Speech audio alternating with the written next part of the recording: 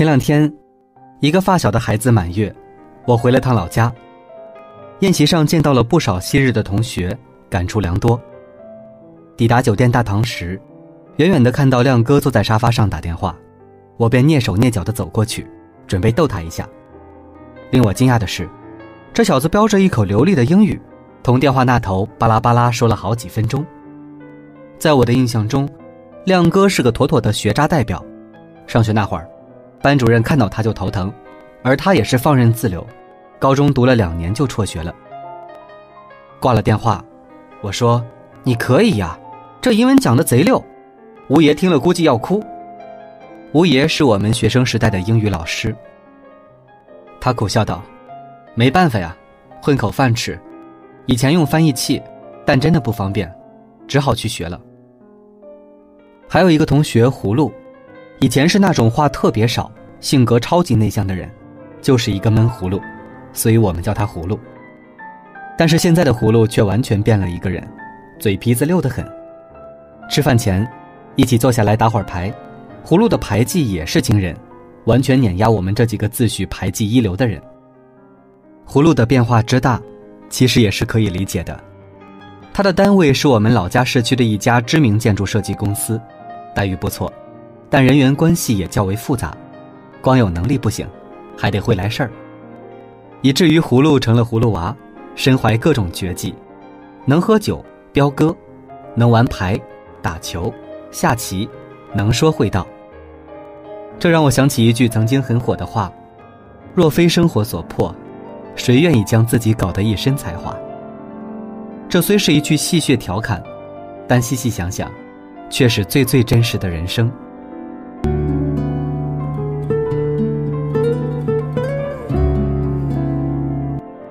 前段时间，网友李先生去北京旅游时，在故宫旁的胡同里偶遇一位黄包车夫，全程用英语。绘声绘色地为外国友人讲解景点历史。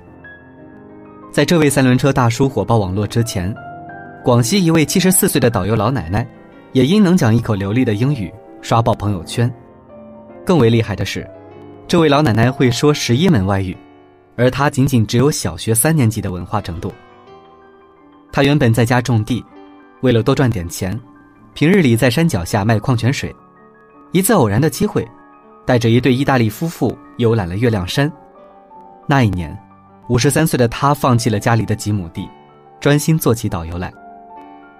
不管是故宫旁的这位三轮车夫，还是这位导游老奶奶，他们真的喜欢学习外语吗？并不见得。但可以肯定的是，他们需要学。掌握了一门外语，就意味着客源不再局限于国人，就意味着可以比那些不会外语的人。多了一些接待外国游客的机会。很直接的讲，就是生意会变好，收入会变多。我知道，有些人确实是因为情怀，希望让全世界看到我们的美，但更多人还是为了生活。试想一下，如果不是生活所迫，希望生意更好一点，收入更高一些，谁愿意一把年纪去学英语？实际上。很多所谓的才华横溢，背后其实都是迫于生计。正如不少网友感慨的那样，现在没点特长，干什么都混不下去。事实真是如此。认识一个九五后读者，收入有一半支出在学习上，晚上下班和周末，很大一部分时间也都用在学习上。用他自己的话说，想要脱颖而出、鹤立鸡群，那么就得比身边的人优秀。要高于身边的人。别人会，你也会，这叫普通；别人不会，你还会，这才叫优秀。老话说“技多不压身”，这句话放在今天这个时代，仍很适用，而且是非常适用。很多时候，你只有满身才华，才能招架住生活的不易，否则只能在泥潭里痛苦挣扎，满身泥浆。成年人的世界，竞争激烈的社会，做不到不出众的话，往往就意味着出局。唯有才华横溢，才能接住生活的大招。那么问题来了，如何才能让自己满身才华呢？无非做好这两点：这也是所有优秀的人身上所拥有的共性。第一，不给自己设限，不认命。对于人生而言，最可怕的不是跌入谷底，不是身处泥潭里，不是命运多舛，最可怕的是认命，是自我设限。人一旦自我设限、自我否定，那么就会丧失斗志，丧失行动力，也会就此失去变好的可能。这样的人生黯然无光，看不到半点希望，注定平庸。而这也是很多人活得不好的主要原因。不少人年纪轻轻就认为自己这辈子就这样了，这种丧比生活的苦更致命。真正优秀的人，往往不会给自己的人生设限，不会向命运低头，不会向生活认怂。所以，无论生活多难，你的起点有多低，请不要轻易放弃自己，不要轻视自己。记住这句话：人生会因认命而平庸，也会因奋起而优秀。第二，持续学习，不断强化自己。不认命，不认怂，这是必不可少的态度。但真正决定人生走向和结局的，还是行动。持续学习，不断的强化和精进，让自己羽翼丰满，技能包丰富，这才是最重要的。在今天这个时代，很难有终身制的饭碗，即使存在，那也需要你不断的学习。考核，而更现实的是，很多公司是无法让你做到从一而终的，你很可能需要不断的挪窝。每一次挪窝的资本，就是你的才华和能力。才华出众，就向上走；没有才华，就只能向下走。这就是持续学习的重要性和意义。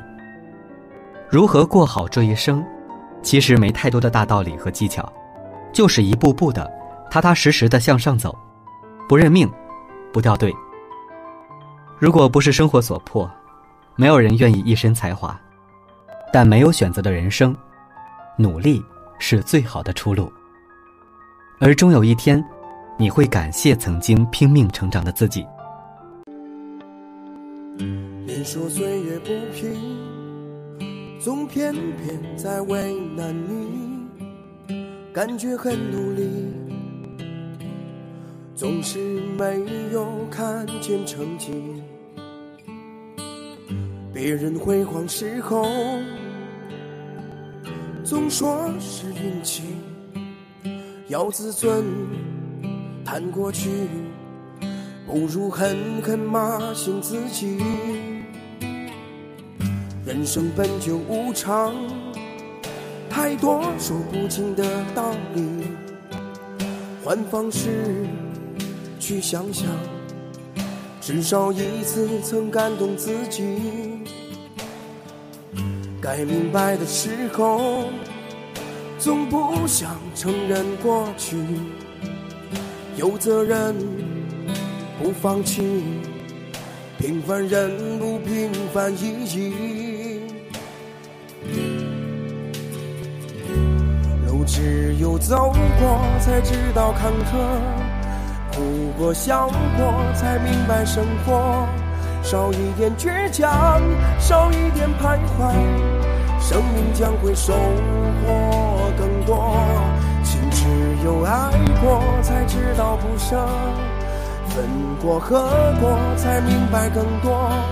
多一点回忆，多一点想着，会有更多美妙跟你走过，跟你走过。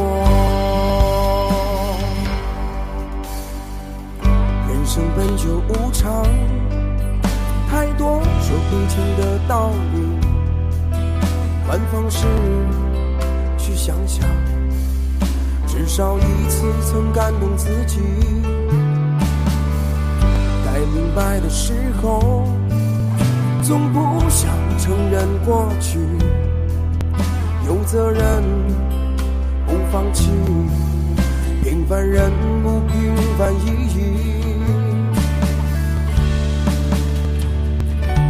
路只有走过才知道坎坷，哭过笑过才明白生活。少一点倔强，少一点徘徊，生命将会收获更多。情只有爱过，才知道不舍；分过合过，才明白更多。多一点回忆，多一点相让，会有更多美妙跟你走过。走过，才知道坎坷；哭过笑过，才明白生活。少一点倔强，少一点徘徊，生命将会收获更多。情只有爱过，才知道不舍；分过合过，才明白更多。多一点回更多美妙跟你走过，跟你走过。多一点回忆。多一点想象，会有更多美妙跟你走过，跟你走过。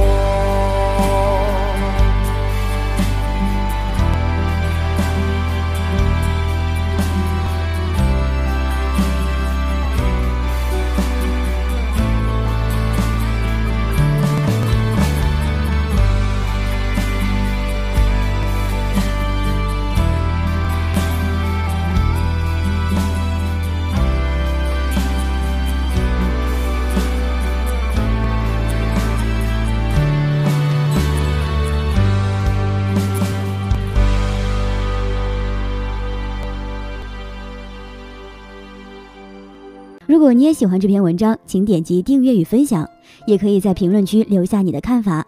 感谢您的收看，我们下期再见。